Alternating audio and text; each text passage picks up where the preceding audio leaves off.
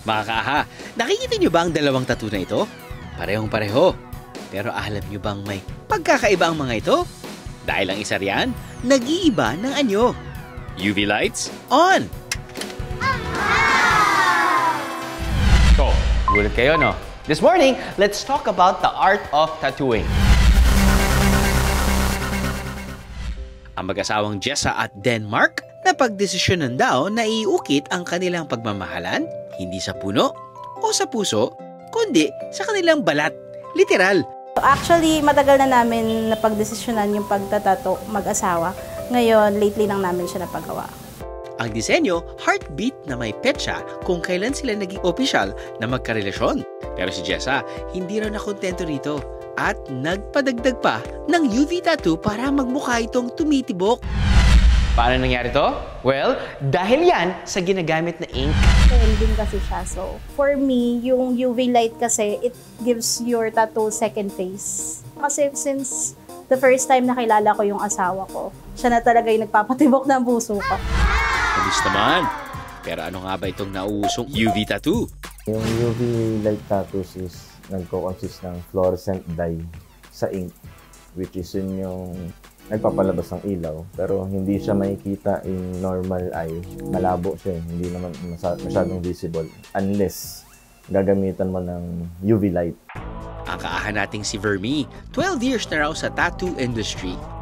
At nung una raw niyang marinig ang bagong trend ng tattoo ink na ito sa ibang bansa, pinag-aralan niya ito at nag-umpisa na rin i-offer ito sa kanyang tattoo studio. sa normal na pagtatattoo I'm using 8 volts sa pagpasok ng needle sa skin pagdating sa UV light ang ginagamit kong voltage sa pagpasok ng ink sa balat is very low voltage lang. Mabagal na pasok sa mga fold, mga ganun. Maganda raw itong pang-highlight sa pangkaraniwang tattoo. May iba't ibang kulay rin na pwedeng pagpilian. Sa sampulan daw niya tayo. May client tayo ngayon, si Raymart, at ang design niyang tattoo ay Galaxy Tattoo na may UV light.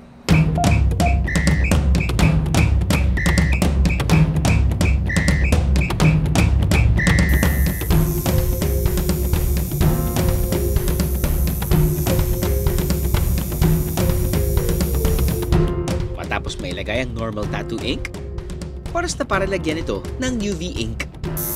At dahil invisible, kailangan tutukan ng UV light habang ginagawa ang proseso. Lagyan natin aha. Okay, tapos na. Um, okay naman siya. Parang yung sakit niya parang pares lang dun sa normal tattoo. Ang resulta?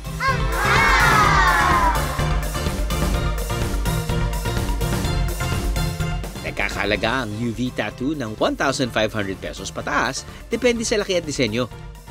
Kung si Jessa, gusto ang tagong tattoo. Iba naman ang tattoo ng mga mag-asawang ito. Ang halos 80% kasi ng katawan nila, nababalot na ng mga tattoo. Maging sa mata, meron na rin. Kilala siya online bilang si Solar Boy. Nag-start ako sa henna, then unang-una kong tinatoy yung sarili ko. Oo, mga 15 years old ako nun. Ako po 17 years old ako unang nagkatattoo. Nagsimula raw silang ma-in love sa art of tattooing dahil dito nila na-express ang kanilang sarili at mga saloobin.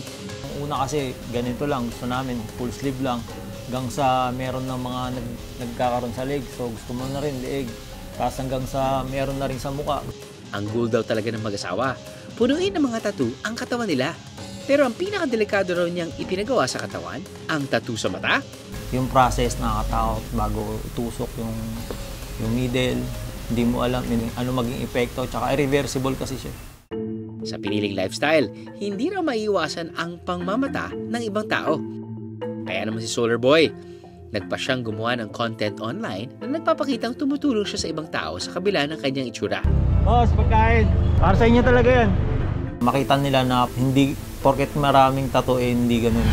Pero guys, lalo na sa mga kabataan, bago magpalagay ng tattoo, pag-isipan munang mabuti. Dapat sigurado na at buo na ang desisyon nyo. Dahil kapag naibaon na ang ink sa balat, ay, nandyan na yan for life. Mm-mm. Ano nga ba ang science behind tattoos? May tatlong layer ang ating balat. Ang epidermis o yung pinakaitaas na bahagi ng balat. Nagbabago ito depende sa kondisyon ng cells. Sa ilalim nito, ang second layer na tinatawag na dermis. At ang layer kung nasaan ang fats ay tinatawag namang subcutis. Pag tinato ka, dapat para maging maganda yung effect ng tattoo, dapat nasa second layer siya. Kasi pag dito, mag-fade agad. Kasi nga constantly changing ito eh. Every 28 days nagpapalit ng cells. Isang factor din daw ang tinatawag na phagocytic cells. Ang phagocytic cells, ito yung nag engulf o kumakain ng mga foreign bodies na nare-recognize ng balat natin. Dadali nila sa lymphatics tapos para ma maalis sa katawan ng isang tao. Kapag lumalabo na raw ang tattoo, nire-retouch ito ng mag-asawa. Dahil sa kinalakhang environment, maging ang 17 anyos nilang anak, gusto na rin daw magpatattoo. Kasi po nakikita ko po sa kanila eh. Tsaka ah, para sa akin po astig po kasi. Ang tawag natin na is uh, modeling behavior na mirror kasi parang gusto ng mga anak na kung ano ang meron or ginagawa ng kanilang mga magulang ah, ay ginagawa din nila. Pero paglilinaw nila, hindi pa raw nila ito pinapayagan hanggat minor pa. Sabi ko, pagka nagka ano na siya, nag-18 na siya, Basta hindi hadlang sa magiging pangarap nila kasi masyado pa silang bata. Yung mga pinagdaanan namin, ayoko na mapagdaanan nila. Paalala ng eksperto, maging maingat sa pagpapalagay ng mga tattoo. Pag-isipan mong mabuti kasi it is a lifetime thing and then it can also affect your other problems. Like for example, kung may chronic skin disease ka, umuulit-ulit yung skin rash mo, mga tao rin daw na tinatawag na may dysplastic nimbus o yung sobrang dami ng mga nunal sa katawan na pwedeng may cancerous mole na matamaan, maging ang tattoo sa mata. Pwede raw magsanhi ng eye disease gaya ng glaucoma, pamamaga, o kaya ay pagkabulag. Gayunpaman, ang kanilang katawan ipinagmamalaki raw ng ating mga kaaha. Dahil hindi lang ito basta art o expression ang kanilang mga tattoo, kundi representation din ng kanilang sarili at simbolo ng pag-ibig. Aha!